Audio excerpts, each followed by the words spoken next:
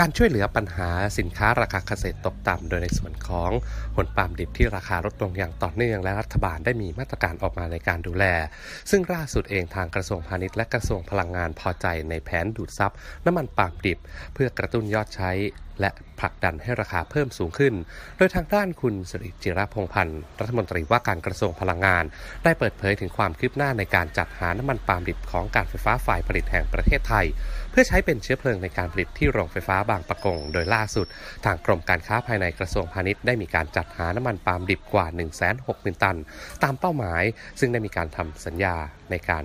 ซื้อขายและรับสกัดจากโรงกลั่นน้ำมันรวมกว่า 23 ราย ทั้งนี้เองได้มีการติดตามการสกัดน้ำมันปาล์มในการรับซื้อทลายปาล์มสดจากเกษตรกรสวนปาล์มในราคา 3 บาท 20 สตางค์ถึง 3 บาท 24 สตางค์ต่อกิโลกรัมตามสัญญา นอกจากนี้เองในส่วนของการกระตุ้นการใช้น้ำมันดีเซล B20 ก็ได้มีการประสานงานไปยังสถานีบริการน้ำมัน ตามมาตรา 7จำนวน 9 ราย เร่งขยายเครือข่ายสถานี เพื่อเพิ่ม การจำหน่ายจากปัจจุบันที่อยู่ที่ 42 สถานี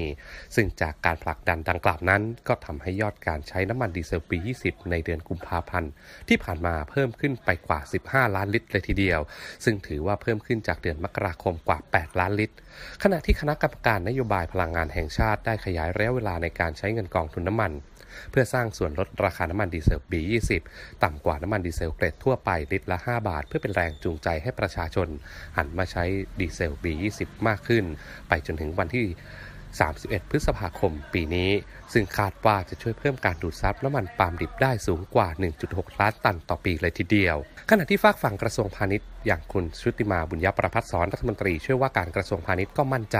หากสามารถดูดซับปริมาณน้ำมันปาล์มที่เกินสต็อกได้ตามแผนที่วางไว้ 160,000 ตัน จะทำให้สต็อกเข้าอยู่ระดับปกติประมาณ 200,000 ตัน ซึ่งจะผลักดันและเป็นผลดีต่อเกษตรกรที่จะทำให้ราคาผลปาล์มดิบขยับขึ้นมาด้วย ส่วนในปีนี้นั้นก็มีการคาดการณ์ครับว่า ผลผลิตปาล์มดิบจะออกสู่ตลาดเพิ่มขึ้น